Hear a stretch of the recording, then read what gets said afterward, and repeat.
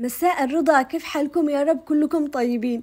اليوم عملت لكم وصفة حاجة جدا روعة اللي هو خبز البرجر.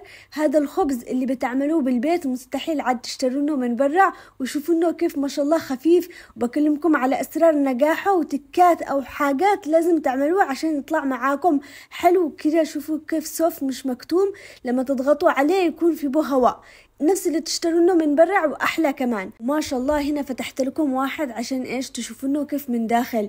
آه، ما شاء الله مفرغ مش مكتوم وطري كده وهش يعني روعة. الآن بتعملوا لأولادكم تعرفوا الأولاد يحبوا البرجر دايما بالبيت. ما بتحتاجوش إنكم تشترونه من برا بتعملونه بإذن الله بالبيت وهذه المقادير وطريقة التحضير جدا سهلة ومن الأشياء المتوفرة بالبيت ما في بيش أي أشياء صعبة. أول حاجة عندي أربعة كواب ونص دقيق دقيق متعدد الاستخدامات. عندي ملعقتين حليب بودر ورشة فانيليا وعندي ثلاث ملاعق كبيرة من السكر أيوه ثلاث ملاعق.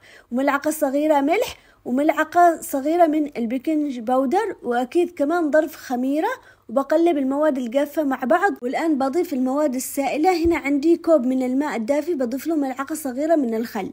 تمام؟ وبضيفه على الخليط طبعا تقدروا تعجنوه بيدكم عادي بس أنا عندي العجانة فخلاص يعني. بس أنتم تقدروا تعجنوه عادي باليد.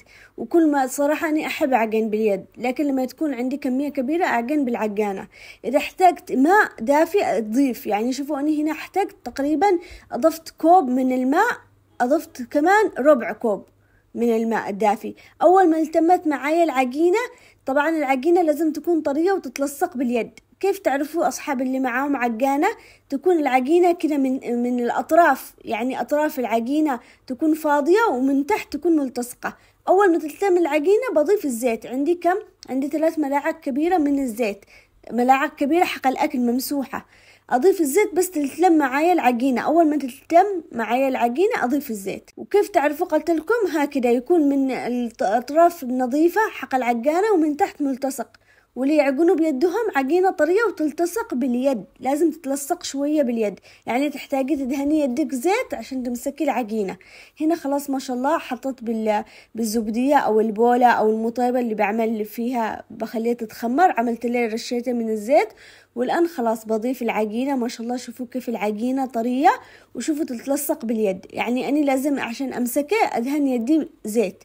لازم من نجاح العجينة إنها تكون طرية وتتلصق باليد. أنا هنا داهنة يدي زيت لكن إذا ما كنتش داهنة يدي زيت بحسها إنها تلتصق بيدي العجينة. زي ما قلت لكم العجينة طرية وتلتصق باليد عشان ينجح معاكم الوصفة. ما تخلوش متماسكة. وكمان كل ما عجنتوها وعطيتوها وقت بالعجن كل ما طلع لكم عجينة كتير حلوة. فأنتم إيش عطوها عج... يعني اعجنوها عطوها عجن نعم يعني اعجنوها تمام تمام عطوها قدر الممكن وإنكم تعجنوا فيها.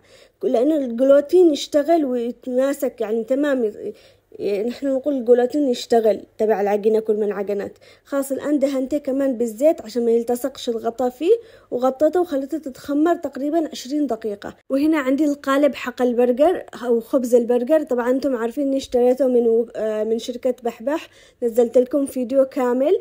من فين أخدته بس أنتم عادي تقدروا تعملوه بصينية عادية. أنا دهنته هنا زيت.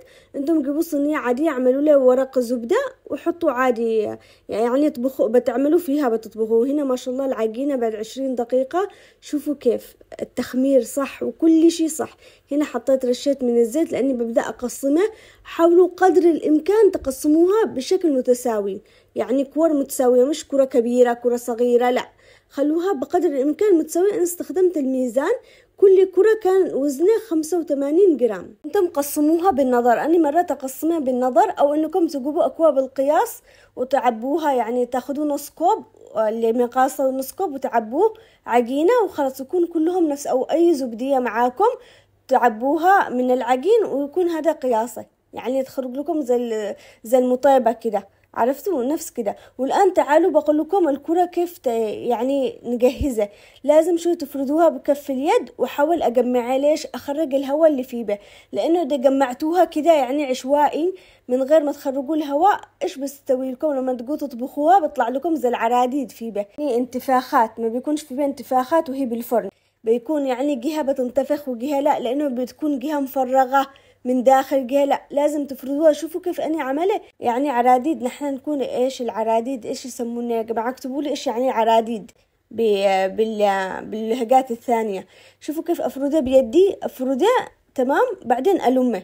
أجيبه من هنا ومن هنا. نفس موضح لكم بالفيديو. أنا ما بعرفش يعني أشرح لكم كيف الطريقة بالضبط بس إني أفرده كده باليد وأجمع كده وأجمع الجهة الثانية وكده كأني بقفل إيش ظرف. مش عارفة كيف. بعدين ألمه نفس كده دائري. هذه الطريقة الصحيحة عشان تخرجوا الهواء.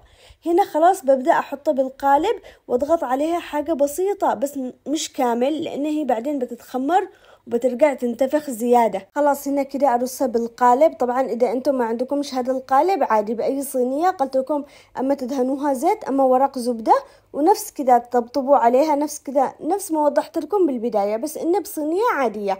وممكن في طريقة تانية اللي تعملوها بالقصدير يعني تعملوها زي تعملوها بزي بحق قوالب الكب كيك كأنها كبيرة بس تعملوها بالقصدير. بس أنتم اعملوها بصينية عادية. هنا عشان تتخمر الآن المرحلة الثانية جبت ماء مغلي نفس الزبدية اللي عجنت فيه به حطيت له ماء مغلي وحطيت الآن عشان نتخمر على بخار الماء وهذه الطريقة الصحيحة.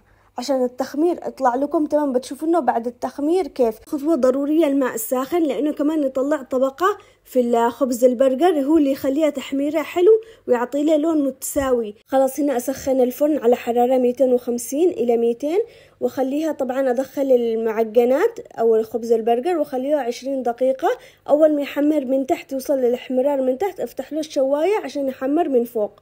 الرف الوسط حطيته بالرف الوسط. ما شاء الله باين قدامكم. وأول ما يخرج من الفرن لازم هذه الخطوة أنكم ترشونه بماء. أنا عندي ماء بارد أرشه. أو جيبوا فوطة مبللة بالماء واعصروها وغطوه. من نجاح المخبوزات وإنكم تحافظوا على طراوته وتكون طرية إنكم تعملوا هذه الخطوة. أول ما يطلع تبخوه بالماء أو إنه فوطة معصورة وفي بماء. يعني ماء وعصرتنه مندية زي ما نقول. وهنا خلاص كده خمس دقايق تخلوه عشر دقايق عشان شوية يرطب. هو أساسا أي فطاير أو معجنات أول ما تخرج من الفرن تخرج قاسية بعدين ترجع تطرى وأنتم اعملوا دي الخطوة عشان حلو يعمل له بخار وتطرى. وهذا من أسرار ونجاح المخبوزات.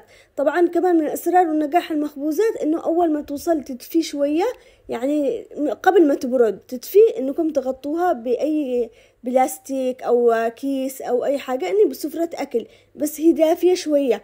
عشان إيش؟ عشان تقص طريقة. أنتم بقول لكم حاجة لما أحيانا نروح المخابز نشتري نشتري خبز. مرات نجي نحس الخبز دافي نعرف إنه حق اليوم عادوا الآن صح؟ لأنهم يغلفوه وهو دافي شوية ما يغلفونوش وهو بارد. عشان ما يكونش ناشف معاهم أو يابس. فأنتم وهو كده شوية دافي. خلاص خذوا بيبدأ برد يعني معاكم الخبز البرجر. ابدأوا غطوه بأي كيس اعملوه داخل كيس حطوه أو سفرة أكل. أفضل شيء إنكم تغطوه بسفرة أكل. وما شاء الله الفيديو يتحدد. شوفوا كيف طري وخفيف ومش معجن من داخل. يعني روعة. وهنا خلاص بعد ما برد تماما يعني تماما حطيته بهذا الكيس. وعادي تحتفظوه بالفريزر بأي مكان تروحوا توزعونه على الجيران والأهل والأصحاب زي ما تحبوا أنا بقول لكم إذا وصلتوا لهنا لا تنسوا الاشتراك في القناة تفعيل جرس الإشعارات و like و comments حلو منكم. طبعا أنا ما كانش عندي برجر عشان أعمل بس عندي شرايح كده جبنة وكان هذا أساسا فطار الصباح. عملت لي كده شريحة جبنة مع طماطم وخيار وكده خس كأنه برجر كأنه نقول له البرجر الكذاب. المهم عملنا بخبز البرجر كده وتقدروا تاكلوه عادي مش لازم مش لازم تعملوا دجاج برجر أو لحمة برجر لا. كده طعمه لذيذ. وفطار الصباح ممكن آه، بيض عيون تعملوه بيضة عيون عليه. روعة جدا لازم تجربوا دي الطريقة. بالعافية لي ولكم. زي ما قلت لكم ما تنسوا الإشتراك في القناة تفعيل جرس الإشعارات و like و comments حلو منكم.